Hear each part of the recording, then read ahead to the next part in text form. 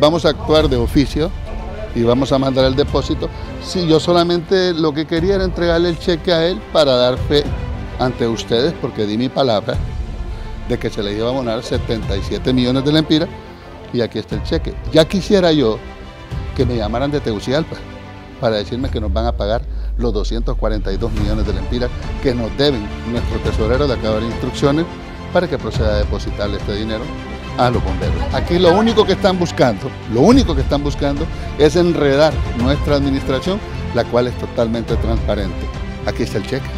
Esto es un esfuerzo y un sacrificio del pueblo sanpedrano.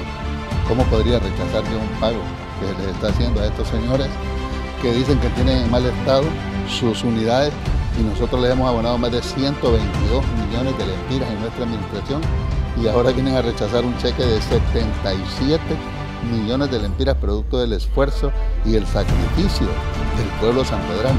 Si a ellos les molestó que el Ministerio Público los investigue, es normal que se investigue los bomberos, es normal que se investigue la municipalidad si manejamos fondos públicos. ¿Cuál es la molestia? Y ahora ellos dicen que no van a recibir los pagos, cuando la administración anterior los tuvo 18 meses sin recibir un lempira.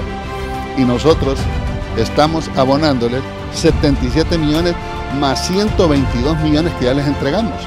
¿Cuál es la molestia, cuál es la incomodidad de ellos que les haga una auditoría?